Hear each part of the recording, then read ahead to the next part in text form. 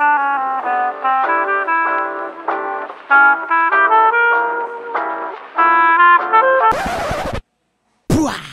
sa inyo lahat dyan. Welcome sa isa na namang episode ng Monday Quickies. Okay. Yung episode 1, pinag-usapan natin is shutter speed. So nagba-back to basic tayo dito. Back sa roots. Back dun sa mga importanteng bagay na baka nalilimutan na natin sa ating pagkakamera. Okay, so dito sa episode na to, ang pag-uusapan natin is aperture. Ayan, aperture. Kuya Mon, ano ba ulit ang aperture? Ang aperture ay yung butas sa lens nyo. Ayan. Hoy, pumukus ka, gago ka. Okay, ang aperture is yung butas ng lente natin. Ayan, kung gaano kalaki yung opening. Sa camera naman natin, para makita yung value, hanapin nyo yung F. Yung nakasulat F2.8 o kaya minsan 3.5, 5.6, F8, F4. Sa mga Nikon users dyan, ito yon. Usually, ito. Pag ina-adjust nyo. May mga ibang lente ng adjustment ng aperture nila, manual, meron din. Pwede nyo iset na dito nyo siya ma-adjust. So ang aperture, merong dalawang bagay na naapektuhan sa ating photography. Una is yung light. Siyempre, mas maliit yung opening niya, mas konti yung ilaw na nakakapasok. Mas malaki, mas maliwanag. So hindi lang shutter speed ang nakakaapekto ng exposure mo o ng liwanag ng kuha mo. Ang aperture, naapektuhan rin niya yung ilaw. So isang importanteng factor to pag nag-shoot kayo. So Kuya Mon, bakit di na lang natin laging lakihan yung butas ng mga lente natin para pag nag-shoot tayo laging sharp and laging mabilis yung shutter speed natin, walang motion blur. Buksan na lang natin lagi Kuya Mon. Pwede nyo namang gawin yun, kaya lang ang problema, yung pangalawang factor na naapektuhan niya sa photography mo is yung depth of field. Depth of dep depth. Okay, so depth of field. Ano yun, Kuya Mon? Ang depth of field ay yun yung gano kalalim yung in focus sa focus point mo.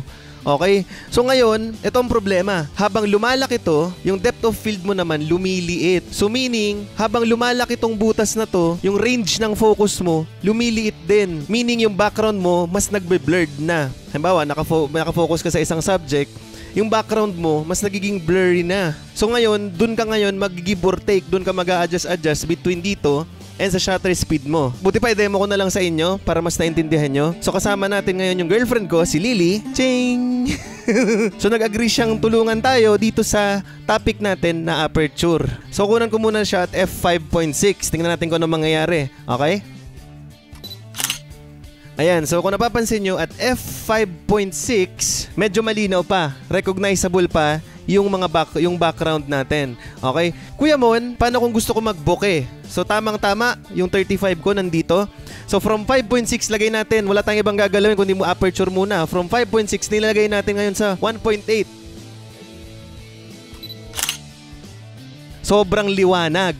Ngayon dahil gusto mo mag-bokeh, gusto mo mag-blur yung background mo, nilagay mo siya sa mas malaking aperture, binuksan mo yung lente mo, sobrang liwanag. Okay, reminder lang ha, sa aperture, habang lumiliit yung numero, lumalaki yung butas. So baka malito kayo. Okay, merong scientific explanation kung paano yun, pero haba lang tong Monday Quickie natin. Pag ginawa ko yun, kasi hindi ko rin alam, i-research ko pa. Kuya mo, lumiwanag. Eh. Paano ko mag-shoot ng blur yung likuran? Lumiwanag. Ngayon, ito na yung tinatawag na exposure triangle. Sa next episode natin, pag-uusapan natin yung panghuling exposure. Pero ngayon, ang paglalaruan muna natin is yung give and take ng shutter speed and ng aperture. Okay? Lumiwanag yun. Ano solusyon? Bilisan mo yung, yung ano mo, shutter speed mo. Okay? Testing natin. Ayun. So kung mapapansin nyo, back to normal yung exposure natin, yung liwanag natin, back to normal. Pero, mas blurred na yung likuran kumpara dun sa picture kanina. Okay?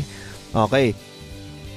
So ngayon, ang problema mo nito, masiset ka ng mga limitations ng camera mo na nito. Halimbawa, uh, medyo madilim, gusto mo mag-shoot at f8, paano mo gagawin yon? So isang solution is mag-tripod. Kasi kung mas madilim, uh, off natin tong isang ilaw ko dito. Ayan, madilim na yung exposure natin. Ang problema, yung shutter speed ko ngayon nasa 1 over 38. Pag binawasan ko pa, 1 over 15, medyo mahirap na yun para sa akin gawing steady kasi 35 to eh. Mabagal na masyado yung 1 over 15 para i-handheld. And lalo na ngayon, tao yung kinukunan ko,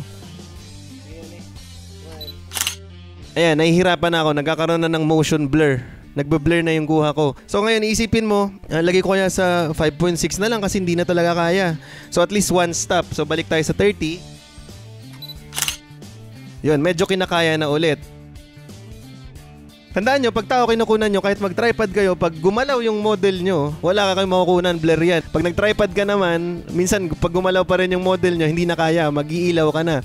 Mabuti kung landscape yung kinukunan mo, okay lang. Okay? Okay, that was another episode dito sa Monday Quickies. Ayan, um, episode 2 na to. Huwag nyo kalimutan panoorin yung aming mga main episode dito sa Photographers. Marami, meron tayong 42. Oo, meron na tayong 42 episodes dito sa Photographers tungkol sa photography, sa videography at kung ano-ano pa. Huwag nyo rin kalimutan subaybayan yung live natin and huwag nyo kalimutan mag-like, share, and subscribe dito sa Photographers. Okay? Alright.